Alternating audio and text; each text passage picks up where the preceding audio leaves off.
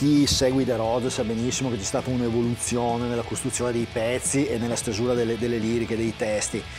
E se uno alla nostra età scrive ancora le stesse cose che scriveva a 20 anni, Sì, non è, sì, può andare bene, non è però non è- secondo me no, anche perché le nostre canzoni sono sempre comunque autobiografiche, sono comunque delle, delle istantanee di quel momento della nostra vita e di conseguenza la nostra vita cambia, cioè abbiamo figli, abbiamo, Si cresce, si certo. cresce, ci sono altre tematiche, altre esperienze, tantissime esperienze di vita, cambiano gli stili di vita, cambia quello che ci sta intorno e le nostre canzoni cambiano, cambiano con loro un artista che, parla, che scrive la canzone d'amore per 60 anni di, di carriera per me è di una tristezza inaudita. Cioè, no- non ci posso credere che almeno una volta non si sia incazzato, abbia scritto qualcosa. Rock TV, solo su Sky, canale 718.